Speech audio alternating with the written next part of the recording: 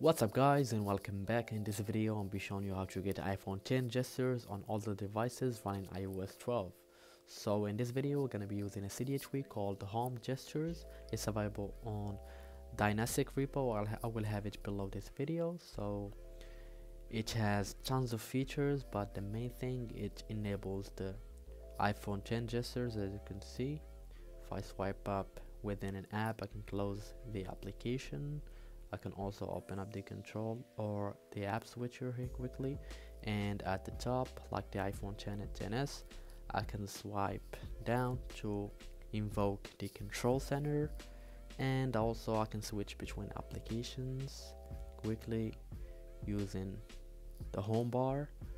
You can also notice the status bar or the design that can be found in iPhone 10 so the tweak has ton of features we're gonna discover them right now. If we go to home gestures settings here you can see a lot of features to enable. You can disable completely the the user interface and only have the gestures. So here in the app switcher you can have the round card corners like the iPhone 10 you can have the cards as rounded.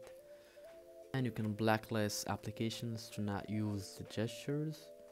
In the lock screen here you can have the flashlight and the camera to quickly access them like the iPhone 10 you can tap and hold or 3d touch to quickly access the camera as you can see. And of course you can disable those options using the settings of the tweak. Also the status bar you can disable the status bar user interface to have just the simple status bar on all the devices one thing to keep in mind regarding screenshots if you want to take them using home gestures, press on the volume up and the power button to take a screenshot like that.